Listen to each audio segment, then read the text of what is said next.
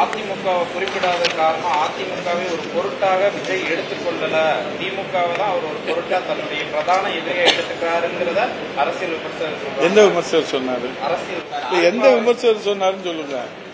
ஏங்க காலையில அஞ்சு மணிக்கு ரெண்டாயிரம் பேர் இங்க உட்காந்துருக்காங்க இளைஞர்கள். இருபத்தி ஒரு சதவீத வாக்கு வங்கியே இந்த நாடாளுமன்றத்தில் பிரதமர் இல்லாம கூட்டணி இல்லாம இன்னைக்கு வந்து அவங்க பணத்தை வாரி வச்சாங்க அதிகார பலம் பண பலம் அத்தனையும் துஷ்பிரயோகம் பண்ணி அவங்க வாங்கின வாக்கை காட்டிலும் அவங்களுக்கு ஆறு சதவீதம் ஆறு புள்ளி தொண்ணூத்தி ஒன்பது அதாவது ஏழு சதவீதம் திமுகவுக்கு பின்னடைவு. அண்ணா திராவிட முன்னேற்ற கழகத்திற்கு கடந்த ரெண்டாயிரத்தி பத்தொன்பதுல இன்றைக்கு நாம் பார்க்கிற போது வாக்கு சதவீதம் உயர்ந்திருக்கிறது. புரட்சி தமிழ் ஐயா எடப்பாடியார் ஒவ்வொரு பொதுக்கூட்டத்திலும் எங்க பொதுச் செயலாளர் வருங்கால முதலமைச்சர் சொல்றாரு. நீங்க மக்கள்கிட்ட அதை போய் சேர்க்க மாட்டீங்களா? நீங்க சொல்ற அரசியல் விமர்சகருக்கு இந்த புள்ளி விவரம் தெரிஞ்சிருக்காது. அதனால அவர் சொல்லுவாரு எங்க 52 ரெண்டு ஆண்டு கட்சிங்க இந்த கட்சி. காலையில தேனியில இருந்து இங்க வந்திருக்காங்க இருந்து வந்திருக்காங்க. மேலூர்ல இருந்து வந்திருக்காங்க. சோழவந்தால இருந்து வந்திருக்காங்க. தெற்கு தொகுதியில இருந்து வந்திருக்காங்க. இங்க வடக்கு தொகுதியில இருந்து வந்திருக்காங்க. தி- இங்க இருக்கக்கூடிய அண்ணன் உசிலம்பட்டியில இருந்து வந்திருக்காங்க. இதை நாங்க வந்து எப்படி பொருட்படுத்தாம போக முடியும்? எப்படி பொருட்படுத்தாம போக முடியும்? அவங்களுக்கு ஏதாவது அரசியல் காழ்ப்புணர்ச்சியோட சொன்னாங்கன்னா அதுக்கு நம்ம பொருட்படுத்த முடியும். 52 ரெண்டு ஆண்டுகளில் முப்பத்தி ரெண்டு ஆண்டுகள் ஆண்ட கட்சி. அண்ணா திராவிட முன்னேற்ற கழகம்.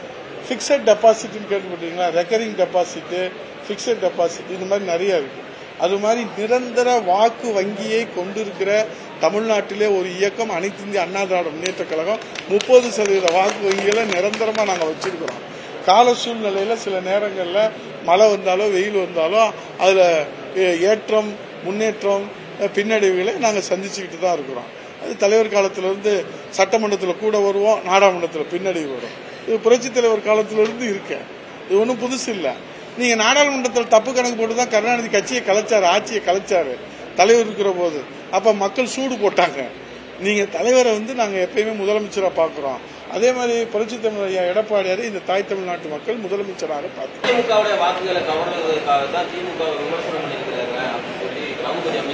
அதுதான் தம்பி சொல்றேன். அவர் ரகுபதி அண்ணா திமுக இருந்தவர் தானே. அவரே அதிமுக வாக்கு வங்கியில ஒருத்தர் தானே. கால ஓட்டத்தில் காணாமல் போயிடும் அவங்கெல்லாம். இன்னைக்கு அங்கே போய் வந்து தாய் வீட்டை விட்டு விட்டு தாய் வீட்டை காட்டி கொடுத்து விட்டு தாய்ப்பால் குடித்ததை மறந்து விட்டு சொல்லுகிறவர்கள் பேச்செல்லாம் நீங்க ஒளிபரப்பாதீங்க.